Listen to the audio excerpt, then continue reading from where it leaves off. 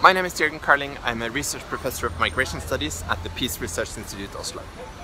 The International Organization for Migration, IOM, plays a very important role in connecting migration research and migration policy. One of the vehicles for bridging this gap is the World Migration Report, the IOM's flagship publication.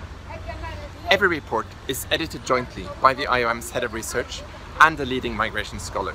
The chapters draw on a range of expertise from policy and academia. One of the new features that I really like is the direct engagement with the editors of leading migration journals. Peer-reviewed scientific journals are vital to advancing our understanding of migration, and the editors of those journals have a bird's-eye perspective on how the field is developing. Bringing the insights from scientific journals to communities beyond academia, including policy communities, is important for all of us who share a vision for a future in which migration more often is to the benefit of all. The World Migration Report is freely available online on the IOM's website.